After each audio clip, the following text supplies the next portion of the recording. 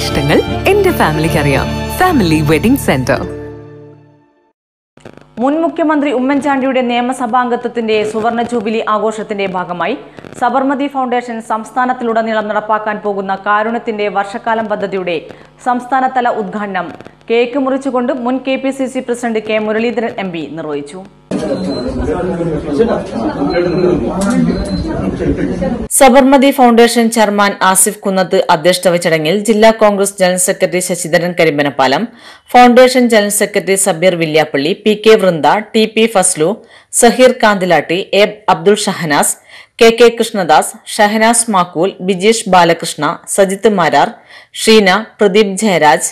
Manoj Kuniyil തുടങ്ങിയവർ സംസാരിച്ചു.